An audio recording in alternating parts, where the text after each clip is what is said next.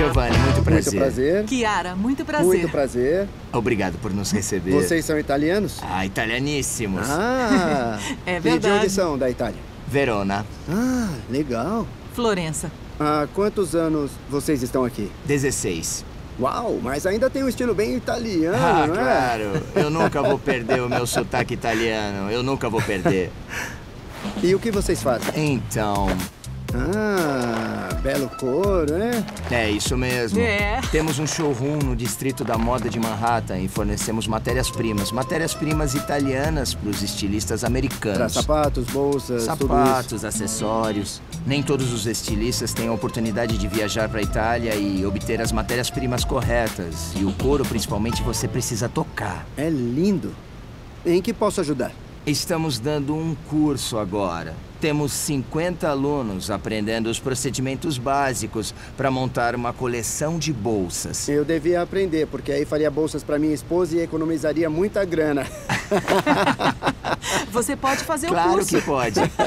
Queremos surpreendê-los com um bolo no fim do curso.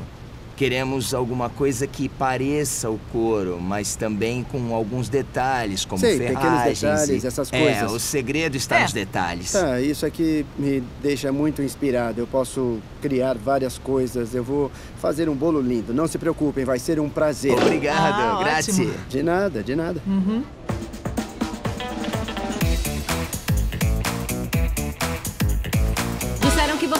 procurando. Olha, aí. Precisa dos meus conhecimentos para alguma Preciso coisa? dos seus conhecimentos. Em quê?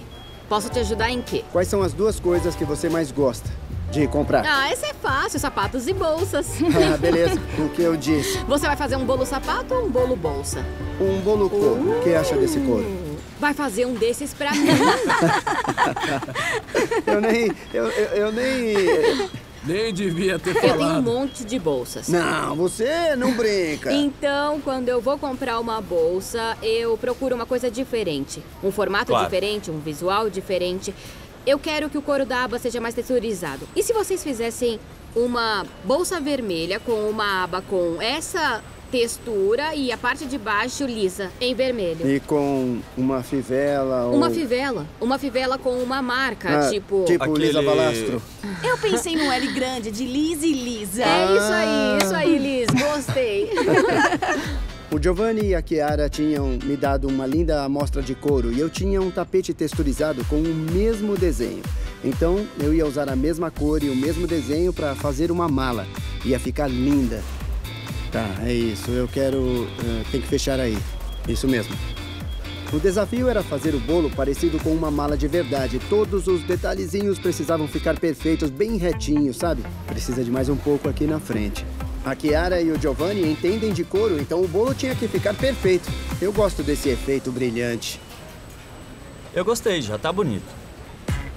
Já estávamos finalizando a camada inferior. A Jéssica estava fazendo as alças e a Liz as fivelas.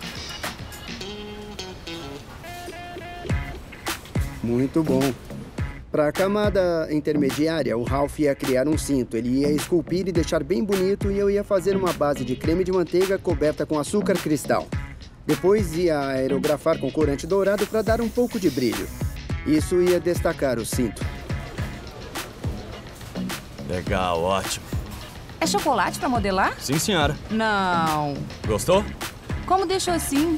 Depois que secou, eu peguei, fui me gabar e acabei quebrando tudo. Tá muito bom. É, tá ótimo. Vamos usar o outro tapete texturizado pro vermelho. Tá. A camada superior era a bolsa que a minha esposa Lisa tinha criado, então eu tinha que fazer bonito. Uau, tá ficando bom. Oi, Lisa. Olha como essa bolsa ficou linda. Viu a minha ideia da aba? Acho que eu devia começar a desenhar bolsas. Gostou? Eu adorei. Segura aqui. É só grudar, mas precisa grudar na lateral. Eu achei que ficou linda. Meninas, venham aqui ver. Ficou, muito bom, bom, não ficou? ficou? Acho que ficou harmônico. As cores estão ótimas. Combinam com todas as amostras que ele nos deu, com os vários desenhos e técnicas. É um daqueles bolos em que tudo acaba combinando. Eu acho que preciso de uma bota, um cinto e uma bolsa pra combinar. E eu preciso de outro emprego. Será que eles não podem pagar o bolo? Eu posso com- tentar. Mas pra nós três. Isso! Vou cuidar de todas as minhas garotas.